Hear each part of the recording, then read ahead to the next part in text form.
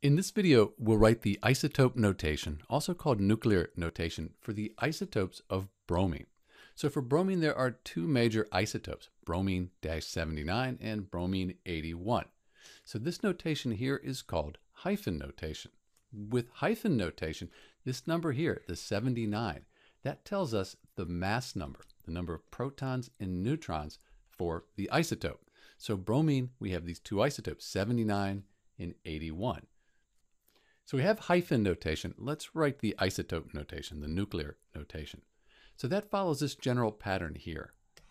So for example, with carbon, this would be the mass number here, and then we'd have the atomic number here, and this would be our element symbol. So let's fill this template here in for bromine 79. We write the element symbol for bromine, and then the mass number, we said the mass number is this number right here. So we just put a 79 up here, the atomic number for bromine is 35. And this atomic number is for all isotopes of bromine. It's always 35. So we're going to have a 35 down here. And that's the notation for bromine. Sometimes to show that this is neutral, there's no negative or positive sign here, you'll put a zero here. You'll see that from time to time. So pause and write the isotope notation here for bromine-81. So we write our element symbol for bromine.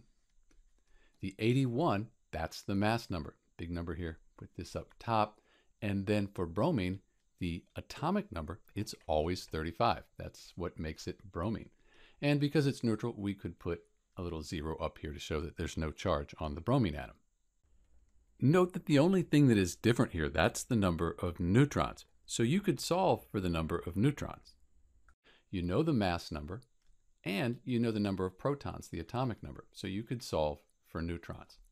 This is Dr. B with the isotope notation, also called nuclear, sometimes nuclide notation for bromine, the isotopes of bromine. Thanks for watching.